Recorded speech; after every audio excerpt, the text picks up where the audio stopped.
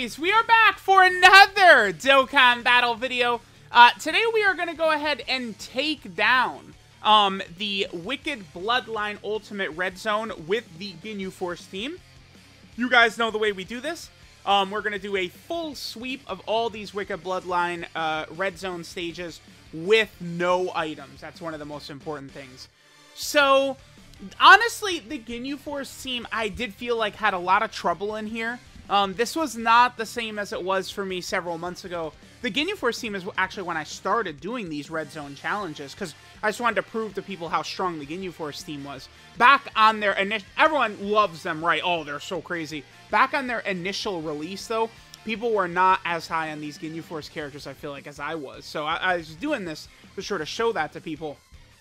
The Wicked Bloodline Red Zone, though, besides this fight, this fight is very difficult, the full power Frieza fight. But besides this fight, all of these red zone stages in here are very quick fights, right? Turn 2, turn 3, turn 4, you could be against the final phase in a lot of these fights. And it's just really tough, right? Because all the Ginyu Force units build up. Ginyu himself really can stack up quite a bit and can even transform into Goku Ginyu until turn 4, right? So you do definitely need, um, you know, to, to spend time. And in here, these fights are just so quick, right? Now, we use the core of Ginyu, Recoome, and Guldo, and Burter and Jace in every single fight. Burter and Jace, by the way, I feel like are a little bit of a disrespected unit. Everyone knows how godly Recoome and Guldo are, but Burter and Jace are a ridiculous character as well, capable of working well in all of these Red Zone fights because they give 60% support to Ginyu with a 50% chance to dodge, and oftentimes they're well over 300k defense. Burter and Jace are ridiculously busted, right? Now, this Frieza fight is the one fight in here that does go on for quite a while, which will allow us to stack up with all the Ginyu Force characters, um, and, you know, thus be able to win pretty easily. The other thing, too, is that this Frieza fight does work very well for the coolers, right? We can come in here, we can build up Final Form Cooler, build up EZA Base Cooler, and then we can just completely obliterate. And that is actually what happens in this fight. We have our Final Form Cooler completely destroy full power Frieza in one turn is what happens later on in this fight, right? Cooler just completely annihilates full power Frieza, and then we get our first W in here. Um, I think that this fight only took a couple of tries. It might only have been like one, two, or three. Um, this one really wasn't so bad because it's a longer fight, but a lot of the other upcoming stages were much more difficult than this one.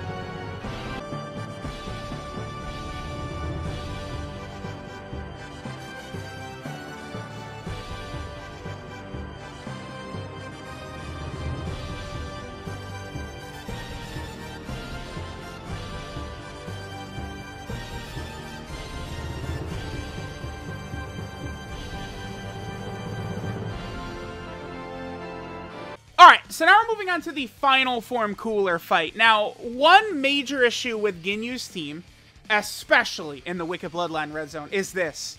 You end up with double Ginyu in your opening turn, and you're screwed. Especially if we don't get another Ginyu Force member on here, which we don't. We have three other Ginyu Force members on the team, and we can see that they're in opposite rotations. A lot of times, a lot of these runs, this is a death sentence, right? You've lost at this point right here already.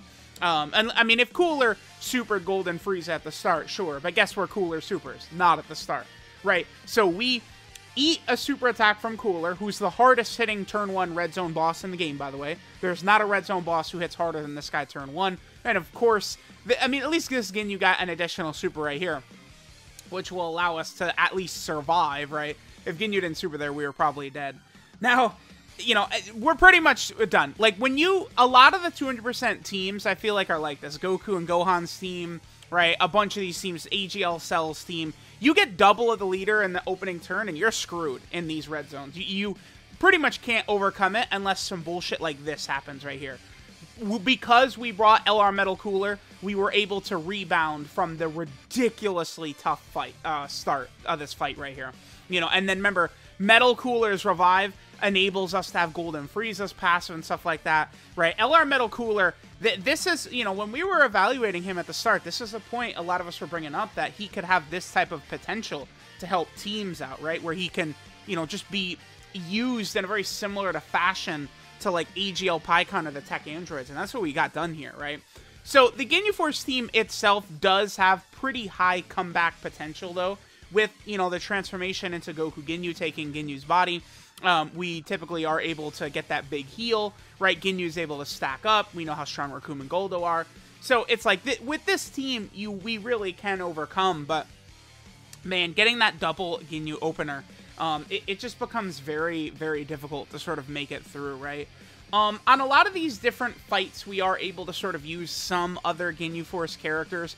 The problem here um, is that we I, we could have brought Physical Recoome, but he just quite does not cut it in here. He just takes way...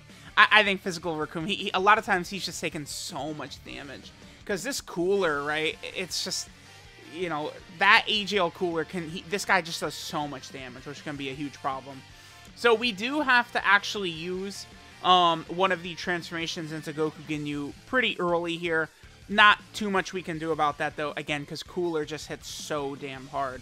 Now, one thing that is good, remember, you know, Cooler doesn't really have gimmicks just besides how hard he hits, right? He's just a huge hard hitter, right? It's it's sort of like similar to like the I don't know Janemba fight or something like that in that case, right? That he just kind of hits really hard. Um, but Final Form Cooler is uh, int, which means LR Metal Cooler is even better in this fight, right? Because you know we're able to stick him against uh, Cooler with type advantage, and don't forget that Final Form Cooler. He does that super attack, which is essentially, you know, Omega Shenron level damage on his super attack. But it is a melee, unarmed, or physical super, whatever you want to call it. So LR Metal Cooler will actually be able to nullify um, if we would get caught on that super attack. From here, it's just simply, right, like, don't let Burter and Jace eat a super, um, and we should be pretty good. We do still have LR Metal Cooler's active skill available to us. Typically, um, I do like to save Metal Cooler's active skill as much as possible till deep in the fight when I actually need the heal, right? Um, but, you know, we're, we're able to get the job done here. The other thing, too, with Metal Cooler that is very helpful, even on just a, team like this, um, is the fact that Metal Cooler can give us heals, right? Th those heals every single turn can be very good, because preferentially, like, pre preferably, I would want to keep Ginyu in base as long as possible, right? Because he's giving the extra support, and then he continues stacking. But, you know, if we got to transform the heal, we have to transform the heal. But we try and, you know, go away from that as long as possible. But here was the Final Form Cooler fight. We had a very, very, very tough beginning. But, again, the team is capable of rebounding.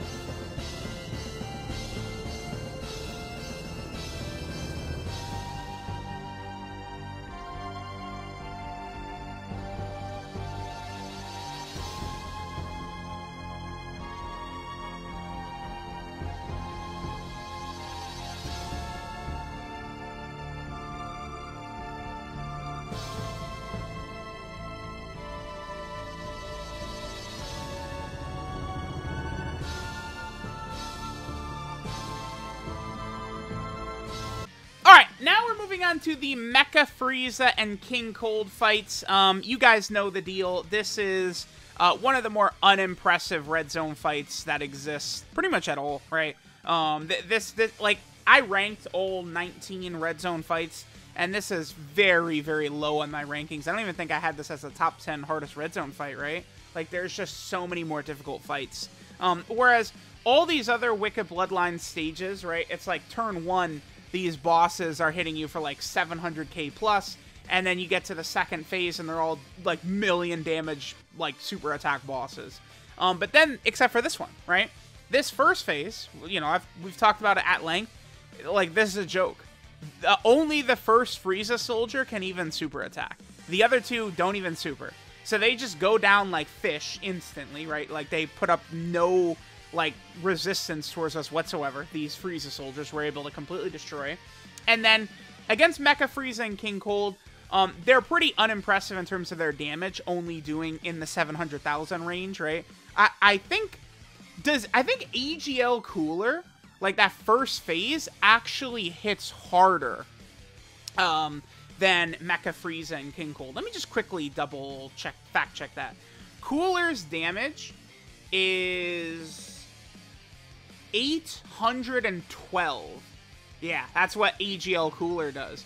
So yeah, Cooler's damage is higher in turn one than both Mecha Frieza and King Cold's damage, which is just so crazy to think about, right? Um, and then, of course, King Cold does seal us every single turn. Um, we really want to try and avoid um, these seals as much as we can. So what you want to do is focus all your firepower on King Cold, right? You get rid of King Cold as fast as possible, um, and then we don't have to worry about being sealed anymore. I mean, look at this turn, right? Both Captain Ginyu and Cooler got sealed. Just a huge pain in the ass. Um, the other thing that happened that was actually kind of weird in this fight, I think this is the first time I've ever used LR Golden Frieza's active skill um, and actually been able to take advantage of the fact that it's an AoE effect, right? So LR Golden Frieza, you could use his active skill if your HP is under 50%, I think starting from the fourth turn or third turn, um, you're able to use LR Golden Frieza's active skill, right? Um, which doesn't really hit that hard. It's not really that impressive, doesn't really do a lot of damage. But the one sort of effect this does have is it is an AoE attack, right? So we can actually see Golden Frieza use the Earthbreaker and take advantage of the AoE, which is pretty cool. But again, it hits like a feather. Because Golden Frieza doesn't stack attack. He also does not have, um, like, guaranteed crits or anything like that on his active skill. Golden Frieza, compared to, like, he's, I think, one of the best units in the game. Compared to the active skills of all the other sort of, like, best units in the game, I think Golden Frieza's active skill just pales far in comparison to those other characters, right? It's very weird. Um, but Golden Frieza, the rest of his kit is just so strong, it's not really a big deal, right? But there is the Mecha Frieza and King Cold fight. Uh, very, very easy.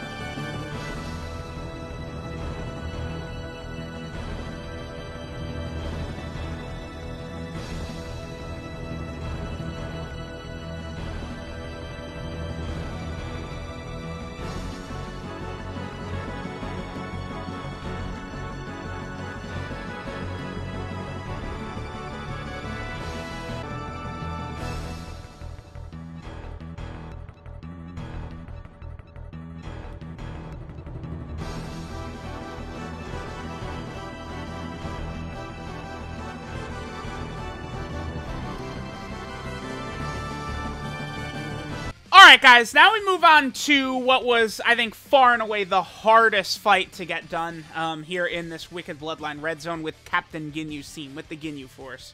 So this Cyclopean robot is a nightmare, dude. This guard is a problem. He does a lot of damage early on. He could also debuff your stats, too, which is very, very problematic. Now, this fight is so hard for a couple of different reasons we'll go over. Number one, of course, our opening rotations, right? Opening rotations, like, if we can't get a good opening rotation, it can just be very, very, very, very difficult here um, at the start, right? Like, it's just not ideal um, with this guard potentially being able to bully us. Now, we did get lucky in that we had Recoome and Guldo in the opening turn, so that means we're able to lower this guard's attack. That's one of the keys to this fight, is being able to lower the guard's attack, which really puts you in better position. And then, of course, we get this goddamn rotation yet again. This is just horrible. Um, I This Metal Cooler fight took me many tries to get done. Um, otherwise, you know, I might have, if not for the fact I think this was the last attempt um, for the day, uh, I might have even just reset because it's just so annoying getting double Ginyu on this opening turn like this because you just really, like, you want to get to stacking with these Ginyus. It's so frustrating potentially missing super attacks, missing defensive stacks, missing this character getting stronger before we get to Red Zone Metal Cooler, who is just a nightmare to deal with with this team. Now, one of the big problems here, right, is because we're rocking double Captain Ginyu, it's like we got to run Recoome and Guldo, we got to run Burter and Jace, pretty much. Like that, that's the core. Those four characters, right, are in every single one of these runs. Um, but then that leaves us with only a couple of open slots here, and it's like we really want to run tech characters. You got to run tech characters because AGL Metal Cooler, he just hits way too freaking hard. So this opens up a couple of options, but it also locks down the STR coolers as well. Now, when the STR coolers, you know, they're on their 200% leader skills, and, like, you know, you have the whole team full of big bad bosses, Metamorphosis Thirst for Conquest, it works really good, and they can dominate. But in this lineup, right, like, the two coolers would be getting the 200% leader skill from Ginyu's um, leader skill, but they, you know, we have so many characters here that don't have those links. Thirst for Conquest, Big Bad Bosses, um, and Metamorphosis. So like we're using a, a like kind of a, a, neutered version of them, and this Metal Cooler's type advantage on them too. So um, I, am not. I wasn't super comfortable trying full Final Form Cooler or EZA base Cooler because it, when I tell y'all that this piece of shit Metal Cooler, I can't. Dude, he supers every slot. I have so many runs of him killing me in every slot. Like he supers every character, every slot, every turn. It's just, it's a nightmare. So I really wanted to try and build a team where I have a very good chance of surviving the super attack with every single character, which is what we have here, right? Also, notice that Golden Frieza in that last turn did dodge a super attack. Golden Frieza, the tech one and the AGL one, they are used for one purpose. Listen to me. Put full dodge on them. Don't worry that they have damage reduction. Don't start thinking very stupidly, right? like a lot of the community does where they go, oh my god, the unit is already tanky, why are you going to give him more dodge? Because their point is to not take a lot of damage, right? So Golden Frieza, if he eats a super attack, you know, he could still take 100 damage, 150k damage, 200k damage, right? AGL Golden Frieza can take 200k damage from Cell Max, shit like that. But if you give these characters dodge, you you can just take zero damage as well. And then, you know, if it does connect, you take a little bit of damage, but you'll still be able to survive Dodge helps so much, especially too with these golden Friezas, both the tech and AGL one, where your HP falls below the certain threshold and they lose part of their passive. Uh, we, dude, I had so many runs against this Metal Cooler, which were so difficult, and uh, Golden Frieza was dodging so many attacks for me. Like, it's so... I, I really am trying my best to change the community's perception around dodge. A, lot of y'all just don't get it. It is so much better than people give it credit for. These bosses hit so hard. It is so difficult to survive, right? Giving some of these characters dodge, you're giving yourself such a better chance at living, right? Because all these characters usually are doing good damage, but giving yourself that extra defense really can save you. Now, the reason that this Metal Cooler fight, there's several reasons, I guess, why this one was so tough, right? Of course, him being AGL means that, you know, the coolers are not quite as good, shit like that. But this is like the only run I've had, like red zone run this year I've had, where I've actually been like, damn, I actually really do wish I had more damage, was this fight. Because of Metal Cooler healing 7 million per turn, I actually had a, a lot of trouble keeping up with Metal Cooler's healing. I believe, if you guys notice, this Ginyu, like, you know, no item sweep of the red zone, this is the longest one uh, of any of the teams we've used it's because this fight against this Metal Cooler was 26 minutes because I couldn't keep up with his healing. I, I believe we finally win this fight on turn 15.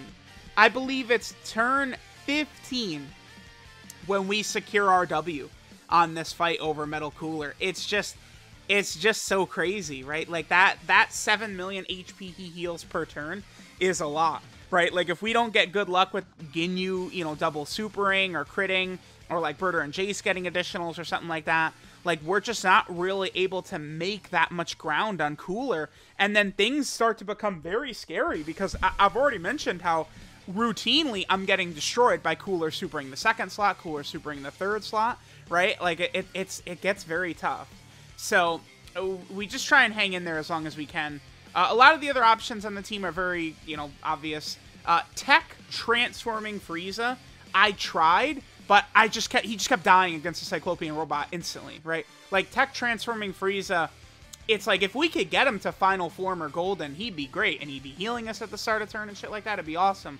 But like the Cyclopean guard, uh, like you know, he just like we would just need good luck to get Frieza through that fight. He's Frieza's taking 150k per normal after he double supers against the Cyclopean Guard, man. It, it's just, it's very tough. Very, very tough in there. Um, and then, of course, uh, we're using Tech Base Form Cooler as well. I went with him over Transforming Frieza because Base Form Cooler, remember, he defensive stacks, but he also is giving Terrifying Conqueror support, right? So he is supporting, the entire team is Terrifying Conquerors. So he's supporting all of the characters on the team, that Tech Base Form Cooler. And the longer the fight goes on, which this fight goes on for a super long time, one reason is I do play very safe, very cautiously at many points, right? Like resetting for Captain Ginyu's Scouter because uh, I, it's just like, uh, dude, I, I, lost a lot of times to this fight, and it's like getting past the Cyclopean Guard is not as easy as you'd think. So it's like once I made it to like this deep into the fight where now we're at the point now, turn 9 plus, where these Ginyus can start surviving a super attack from Metal Cooler, right? It does take a while, because remember, Metal Cooler hits about as hard as Red Zone Broly. Uh, Re Metal Cooler is essentially Red Zone Broly, except you can dodge against Cooler. Um, Cooler heals 7 million HP per turn, and then Cooler only supers once per turn, right? Those are sort of the, the, the differences. Um, but this is a, a boss that, you know, AGL Broly oftentimes you're fighting AGL Broly.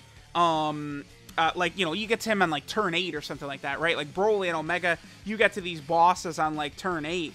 But uh, this guy, especially if you're running like LR Final Form Cooler, you could be going up against this guy in turn two, right? That that's one thing that really makes this fight um, quite difficult.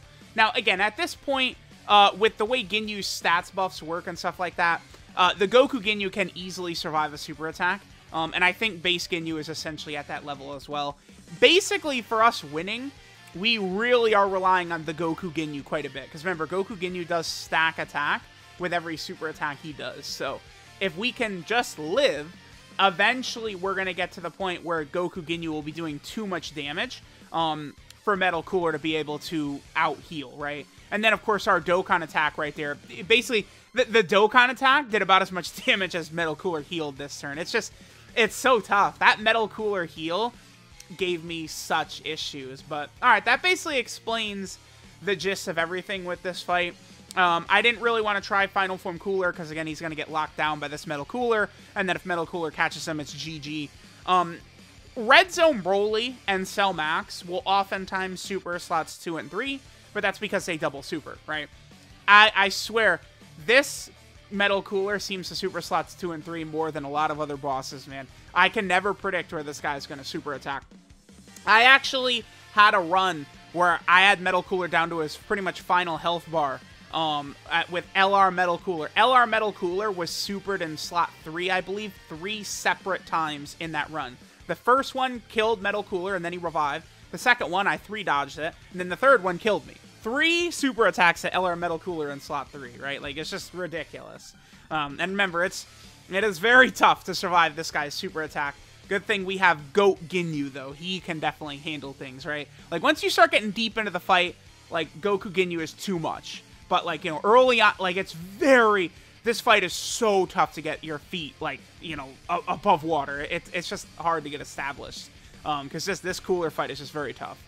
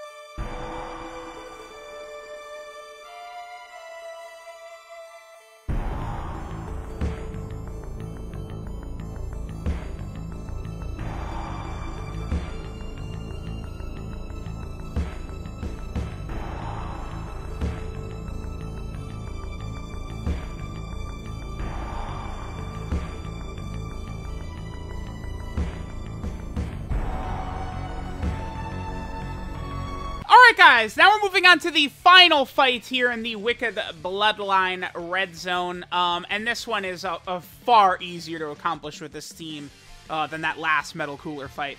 So now we're going up against the Metal Cooler Core.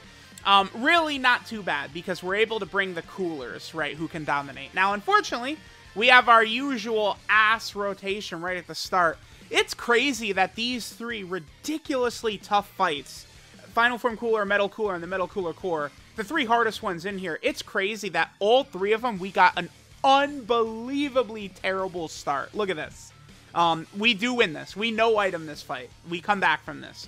Now, one of the main reasons for that, of course, is that the two coolers, the two STR coolers, absolutely hard counter and obliterate this fight to a ridiculous degree. Now, the Metal Cooler Army is a ridiculously scary boss that can double super, right? They could debuff. There's a lot of nasty shit they can do. But we could also lower their attack, too. So the two coolers together get 80 attack debuffs on the Metal Cooler Army, and then boom, we're, we're right back in the fight, right? Because then, you know, the attack debuffs last for three turns. So then before you know it, the Metal Cooler Army can't even really damage us um, for uh, sort of like this these initial phases right here. And then going into the second phase, we go up against the physical Metal Cooler Core. He's physical. So that enables LR Cooler to become Big Daddy Dick LR Cooler mode, right? Because we're able to very safely run EZA base cooler. Even though, again, these Wicked Bloodline fights are probably not the best for base cooler either. Because, again, they're all just so, like, you're right into the tough part of it, right? Like, you're not really able to sort of stack up as much as you would like for some of these fights. Um, but right? The fact that we have that physical cooler at the end and we could just, you know, completely annihilate.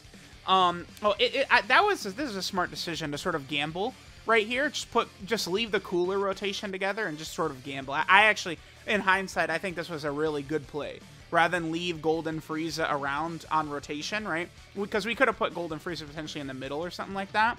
But the thing is, is that we, at this point, have debuffed the Metal Cooler Army so much that like he can't they can't damage they, they can't damage us right even golden Frieza without his passive is completely safe um then cooler can just completely build up by the time we get to the metal cooler core now cooler is going to be ready to pop off the supernova um, and then he's going to be able to get like his you know guaranteed um, additional super attack right to get the extra defense and the extra damage and then that is it so there we go there was the wicked bloodline red zone this this this place was very tough man uh, with this Ginyu Force team, it's just that these fights, right? Like you, you're just you have no time to set up. You have no time really to to prep or build anything up, right? Like in Omega, I, I guess you know he can lock and seal and ruin your rotations and stuff like that. But you still have you know oftentimes eight turns, seven turns before you get to that final phase Omega. Whereas in this Wicked Bloodline Red Zone, it's oftentimes again turn two, three, four. You're going up against the toughest boss, so um, it's like you, you need you know some good luck, some good RNG, good maneuvering of characters around uh, in order to sort of make things work too. Um, so let me know what you guys think of the Wicked Bloodline, uh, Wicked Bloodline Red Zone. No items by the Ginyu Force. The Ginyu Force is still very strong, but it's like, man, I do wish we had at least one more Ginyu Force member who was completely on that level of Recoome and Guldo or Burter and Jeice or something like that, they could still give us like Tagoma Ginyu, Ginyu inside of Tagoma's body from Dragon Ball Super. Something like that could be very, very helpful. Um, but yeah, here's where uh, Final Form Cooler transforms into Big Daddy Dick LR Final Form Cooler. Completely puts the team on his back and just buries the Metal Cooler core, right? So let me know what you guys think. Thanks for watching, and I'll catch y'all next time.